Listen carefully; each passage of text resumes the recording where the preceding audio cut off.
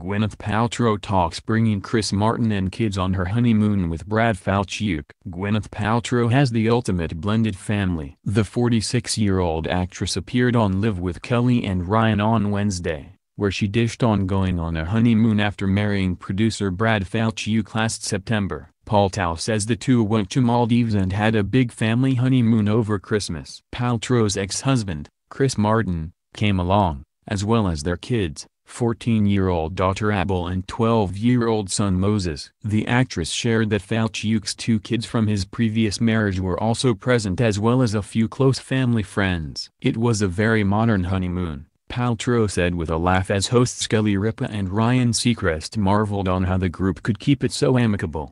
But there was no tension during the getaway, according to Paltrow, and everyone was happy. Oh, just great conversation and lots of kids. She said of the unconventional honeymoon, it was great, we had such a good time. As for how she and Martin have been able to have such a great co-parenting relationship following their divorce, Paltrow says it's been simple keeping their children's best interests at heart.